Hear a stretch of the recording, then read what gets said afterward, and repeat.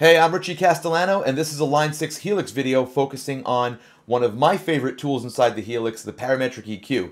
I think it's really powerful, and it gets me out of a lot of jams uh, when I'm trying to get things to fit right in a mix. And I know a lot of people have asked me to discuss that in a video, so here you go.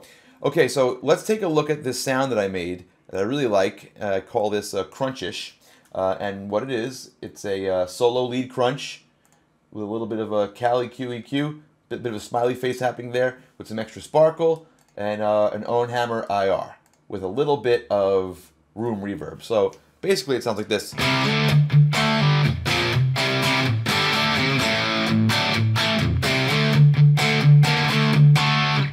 I really like it. It's a uh, medium crunch sound and it sounds great on its own. But the problem is when I put it in a mix, it kind of goes away. It sounds thin and harsh. at um, if you're wondering what you should do about that, uh, maybe this will help you because this is what I do about it. So just to uh, show you what I mean, I'm going to record this. Here's a backing track for one of my original songs, and uh, I don't have any like crunchy distorted guitar in there, so I'm going to lay that down right now.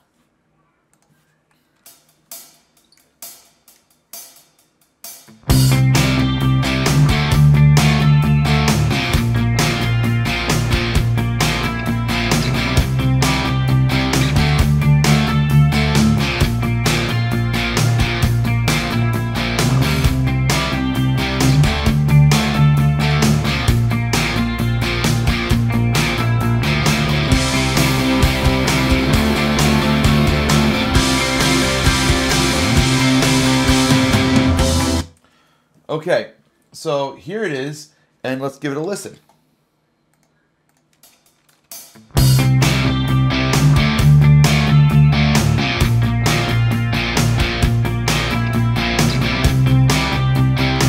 So I want to know what happened to my cool guitar sound. Uh, it sounded beefy uh, when I was playing it by itself, but all of a sudden now it just sounds like okay. Um, now this is a common problem, and it's not only a problem for uh, modeling amps, it's also a problem when you're miking up a guitar amp. And uh, sometimes when you mic something up, it sounds great when you have it soloed, but then you bring it into the mix, and all of a sudden it goes away. Okay, so what can we do about that? Well, let's focus on what we don't like about the sound. And I called up a basic parametric style EQ here. Uh, it's zeroed out. I'm going to turn it on now and I'm going to play the track, okay? I'm going, to, play it in context because there's really, it's not going to be very helpful to EQ it soloed because we like the way it sounds soloed. So, so one thing that's coming, you know, uh, coming out really strong to me is that like bite in the high mid, which sounded cool by itself, but not so cool in the mix. So let's find that. And to do that on a parametric EQ, uh, what you're going to do is you're going to boost a frequency first. So I'm boosting it I'm going to narrow it just so I can really, really zero in on it. So this is the Q, or the bandwidth, and I'm going to make it tighter. So a higher number is a tighter, tighter uh, curve, meaning it's affecting less frequencies.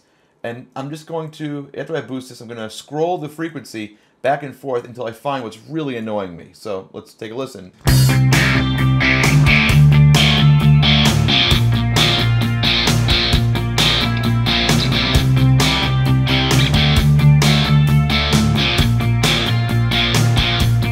So I think we found the problem here.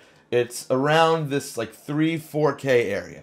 Okay, so now I'm going to just dip that out, reduce it by lowering the gains. Let's, let's listen to what happens to this.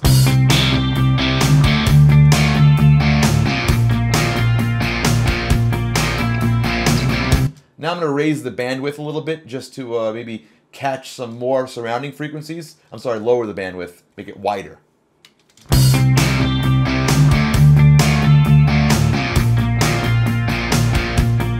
Okay, I want some more thump because when I was playing this by myself soloed, it sounded thumpy, but the thump went away. So let's find some thump.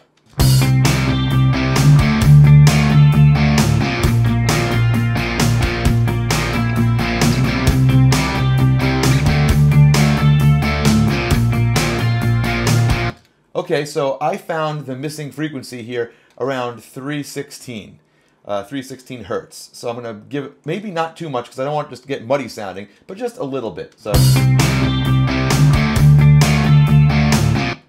another problem here is when I dipped this high mid, I lost some of the top end that I really like. So let me add some top back.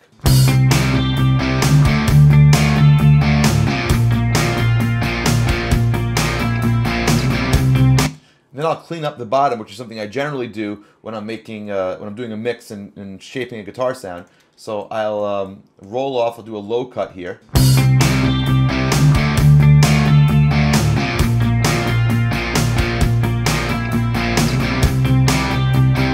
So let's see the difference. Let's A-B it. So here it is bypass, the original.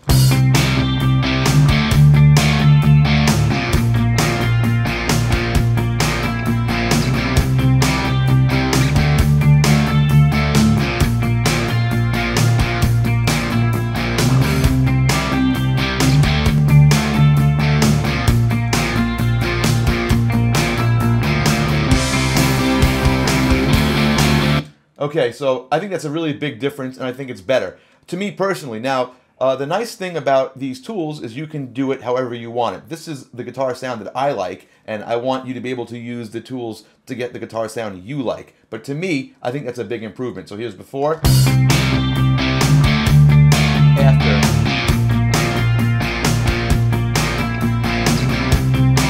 Now, it got a little lower sounding, like I, am perceiving as lower, so I might boost the volume back up just to make up for what I took out.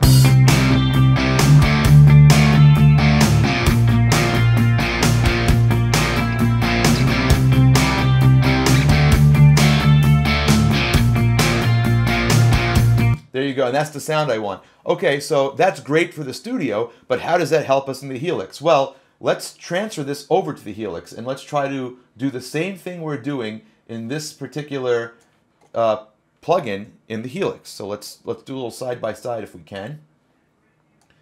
Okay. Cool. Actually, we can just do that. That's nifty. All right. So um, now you don't need to do this from the software. You can also do it from the hardware. So let me put this guitar down for a sec. All right, so let's open up as like one of the last things here. Let's open up an EQ. Let's do stereo because it's a stereo sound. Stereo parametric EQ. Okay, and if you'll notice, oh, uh, my head is blocking this, so let me get my head out of the way here. Goodbye, head. All right, so if you'll notice, um, the uh, a lot of the controls are the same. So let's see if I can mimic what I'm doing here. All right, so we have first thing I did was I went to the high middle frequency. So we have mid frequency here. Let's use that. We don't have as many bands on this, but we have more than enough to get the job done. So on the middle frequency, I ended up cutting 3.4K. So let's go to mid frequency, go to 3.4, okay, and let's reduce it by 6.1 decibels.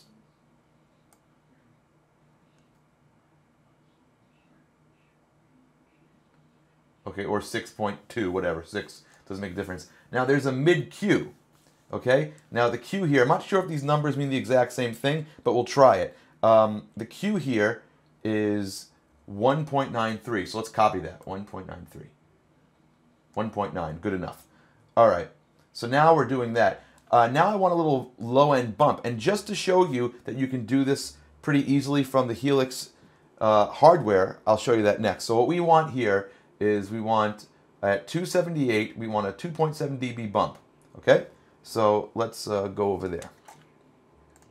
So now we're looking at this. Let's see if we can get this in focus.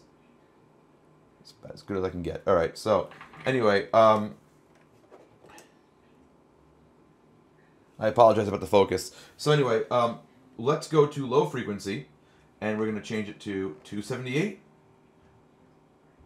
or as close as we can get. 280, that'll do. Uh, let's give it a little bit of a push, about 2.7 decibels. Great. And I had the Q set to 1. Okay, so that's how you can do it from the hardware. Okay, so let's do the rest of the EQing. Now we have a low cut here at 72. So we'll, we'll go to this low cut. We'll put that at 72, or as close as we can get. Actually, I can type it in, I think. Yeah, 72. Good, there we go. 72. And now we have, I think I did a high boost here. Yep, at about 7K, 3 decibels. Let's do that. 3 decibels at uh, 7K. Now, the issue here is on this plugin, it's a shelf. So I might have to adjust this a little bit because this is not a shelf. This is a regular bell curve. But if, you know, I could do this on another uh, another tool, like another type of EQ, but I'm going to try to keep it all in this, and I'll keep the Q pretty low. All right? So now, let's see if it made a difference. Let's see if we did it. Oh, and I also boosted a little bit. I think I gave this about a decibel and a half. So let's do that too, or 1.2 decibels. All right, so this should be a pretty fair approximation of what we had going on here. Let me make my head a little bigger. Hello again. All right. So, um, so this is without.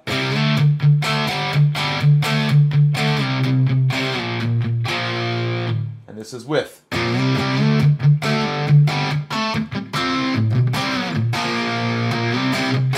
Now I might tweak this out for my own, you know, my own personal tastes. Uh, to me, it sounds a little too uh, bassy, but I'm going to fall into the trap here of not listening to it in the mix. So before I do that, let's um, let's open up a new. Uh, let's go back here. Open up a new track and um, record it so we can hear if we made a difference.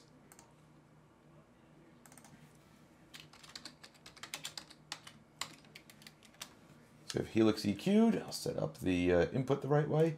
Okay, great. So I'll mute this. And let's lay it down.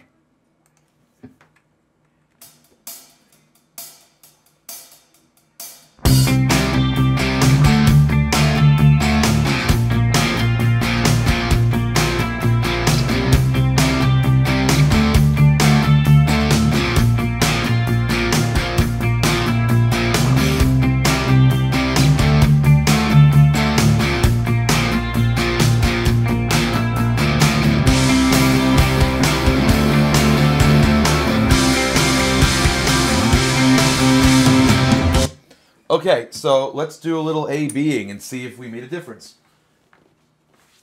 Okay, so here was the original with no EQ.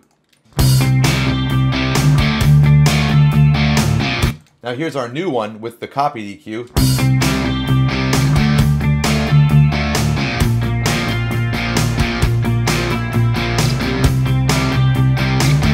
It's sitting in the track much better to my ear. And here is the original one with the uh, plug-in EQ. Let's see how close we got.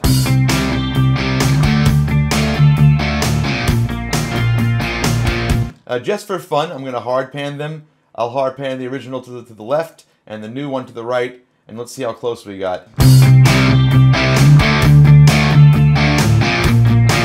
Let me lower it so we don't blow everything up.